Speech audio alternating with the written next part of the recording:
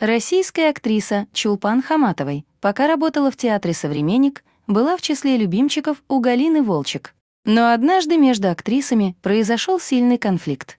Об этом сообщает издание «КТНУС». По словам Хаматовой, она просто предложила переделать план ремонта за кулисье. Однако в итоге это предложение обернулось против нее. На задумку Чулпан не хватало имеющихся средств.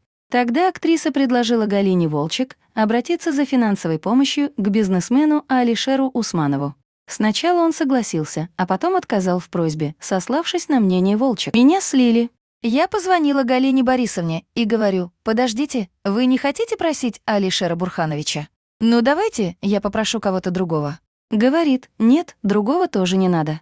И я сказала, снимайте меня с этой должности. Это был наш последний разговор. И я, конечно, очень жалею, призналась актриса.